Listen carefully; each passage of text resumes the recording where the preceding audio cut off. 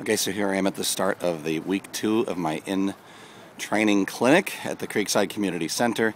So we're going to start doing our warm ups right now. To be honest, I'm feeling kind of okay tonight, so I'm not exactly sure how this run's going to go. Don't trip over your own feet. Yeah. what was that again, Coach Nikki? Don't trip over your own feet. Very uh, important.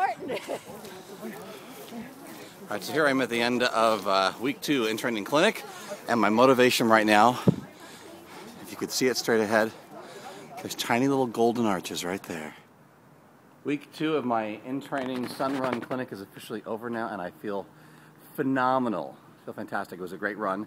Um, it was a little more challenging this time than the first week, which doesn't really make sense. I'm not sure why. Maybe it's my body, I guess, but I mean, I, I feel phenomenal. It was actually a really great run. We still did the shuffle, so I think that was two minutes on and then one minute break. We did that about six times along the seawall. So excellent coaching, a great group of people, and looking forward to meeting you and or running along with you for the Vancouver Sun Run.